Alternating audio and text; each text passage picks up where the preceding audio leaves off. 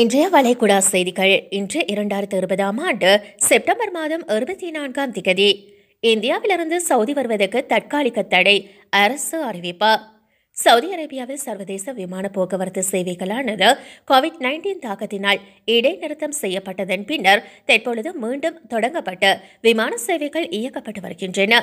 இந்நிலைய Covid nineteen தொற்று நோயை கருத்தில் கொண்டு கோவிட் நைன்டீன் பாதிப்பு அதிகம் இருக்கும் நாடுகளான இந்தியா பிரேசில் மற்றும் அர்ஜென்டினா ஆகிய நாடுகளிலிருந்து சவுதி அரேபியா வருவதற்கு சவுதி அரசாங்கம் தற்காலிக தடை விதித்திருக்கிறது. சவுதி அரேபியாவில் சிவில் விமான போக்குவரத்து ஆணையத்தின் கூற்றுப்படி சவுதி அரேபியாவுக்கு வருவதற்கு பதினான்கு நாட்களுக்கு முன்னர் மேற்கூறிய மூன்று நாடுகளில் ஏதாவது ஒரு நாட்டிற்கு சென்ற பயண வரலாறு கொண்ட நபர்களும் சவுதி அரேபியா வருவதற்கு தடை செய்யப்பட்டுள்ளதாக தெரிவிக்கப்பட்டுள்ளது. சவுதி அரேபியாவில் கோவிட் நைன்டீன் தாக்கத்தினால் கடந்த மார்ச் மாதத்தில் சர்வதேச விமான போக்குவரத்துக்கு விதிக்கப்பட்டிருந்த தடையானது ஆறு மாதங்களுக்கு பிறகு கடந்த வாரம் மீண்டும் தொடங்கப்பட்டது. அக்டோபர் மாதம் முதலாம் தேதி முதல் ஓமான் திரும்பும் குடியிருப்பாளர்கள் எம்ஓஎஃப்ஏவிடம் ஒப்புதல் பெற தேவையில்லை என அறிவிப்பு. ஓமானில் வருகின்ற அக்டோபர் மாதம் முதலாம் தேதி முதல் சர்வதேச விமான போக்குவரத்து சேவைகளானது மீண்டும் ஆரம்பிக்கப்படவிருப்பதாக ஓமான் அரசு ஏற்கனவே அறிவித்திருந்தது.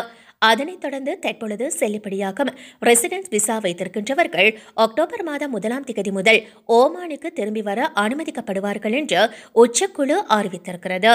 ஓமானில் சிறப்பு விமான சேவைகள் இயக்கப்பட்டு வந்தாலும் தற்பொழுது வரை ஓமானுக்கு திரும்புகின்றவர்கள் ஓமானின் வெளியுறவுத்துறை அமைச்சகத்திடமிருந்து ஒப்புதல் பெற வேண்டும் என அறிவிக்கப்பட்டு அதன்படியே குடியிருப்பாளர்கள் ஓமான் திரும்பி வருகின்றார்கள்.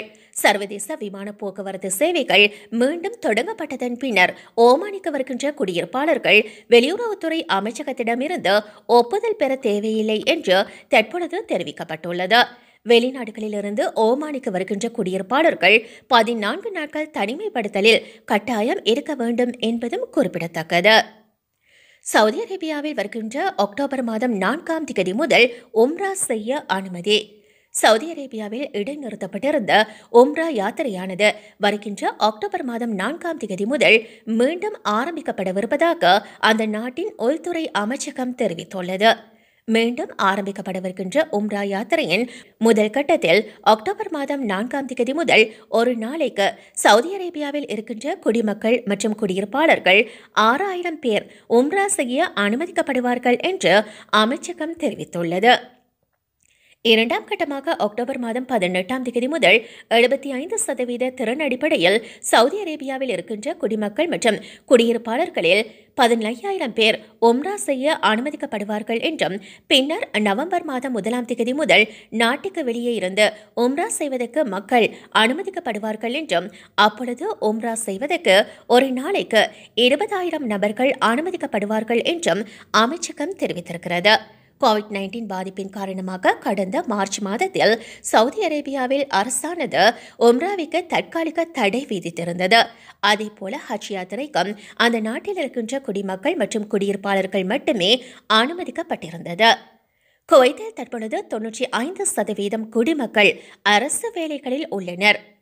குவைத்தில் மக்கள் தொகை சமநிலை நிவர்த்தி செய்வதற்காக வெளிநாட்டு தொழிலாளர்களை குடிமக்களுக்கு பதிலாக மாற்றுவதற்கான தீவிர பிரச்சாரத்தின் மத்தியில் மின்சாரம் மற்றும் நீர் அமைச்சகத்தில் தொன்னூற்றி ஐந்து சதவீதத்துக்கும் அதிகமான ஊழியர்கள் குவைத்தில் உள்ளனர் என்று ஊடக அறிக்கையொன்று செய்தி வெளியிட்டிருக்கிறது. கடந்த ஆண்டு அமைச்சகத்தில் குவைத் ஊழியர்களின் எண்ணிக்கை இருபத்தி ஓராயிரத்து அறுநூற்று தொண்ணூற்றி மூன்று அல்லது தொன்னூற்றி ஐந்து புள்ளி இரண்டு சதவீதத்தை எட்டியது. இது இந்த இரண்டு ஆண்டுகளுக்கு முன்பு தொன்னூற்றி நான்கு புள்ளி ஒரு சதவீதமாக இருந்தது என்று அதிகாரப்பூர்வ அறிக்கை தெரிவித்திருக்கிறது. கடந்த ஆண்டு அமைச்சகத்தில் ஆயிரத்து இருநூற்றி பதினெட்டு கோய்தியர்கள் நியமிக்கப்பட்டனர். இது மாநில சிவில் சர்வீஸ் கமிஷனால் பரிந்துரைக்கப்பட்டது. மேலும் கடந்த ஆண்டு அமைச்சகத்தில் வெளிநாட்டு ஊழியர்களின் எண்ணிக்கை ஆயிரத்து தொன்னூற்றி ஐந்தாக இருந்தது. அதே அறிக்கையின்படி குவைத்தில் நான்கு புள்ளி எட்டு மில்லியன் மக்கள் தொகையில் கிட்டத்தட்ட மூன்று புள்ளி நான்கு மில்லியன் வெளிநாட்டினர் என்றும் தெரிவிக்கப்பட்டுள்ளது. சமீபத்திய மாதங்களில் பல குவைத் பொதுநபர்கள் வெளிநாட்டவர்கள் முக்கியமாக திறமையற்ற தொழிலாளர்கள் நாட்டின் சுகாதார வசதிகளை கஷ்டப்படுத்துவதாகவும் கோவிட் நைன்டீன் அச்சுறுத்தலை அதிகரிப்பதாகவும் குற்றம் சாட்டியுள்ளனர். நாட்டில் மக்கள் ஏற்றத்தாழ்வை நிவர்த்தி செய்ய குவைத்தில் அழைப்புகள் அதிகரித்து வருகின்றன. பல அரசாங்க அமைப்புகள் தங்களுடைய வெளிநாட்டினரின் எண்ணிக்கையை குறைக்கும் திட்டங்களை வெளியிட தூண்டுவதாக தெரிவிக்கப்பட்டுள்ளதாக கூறப்பட்டுள்ளது. நிறைய செய்திகள் நிறைவு பெற்றன. தொடர்ந்தும் தமிழ் டியூப் சேனலுடன் இணைந்திருங்கள். எம்முடைய செய்திகளோடு இணைந்திருந்தமைக்கு நன்றி. எம்முடைய சேனலுக்கு சப்ஸ்கிரைப் பண்ணுங்கள்.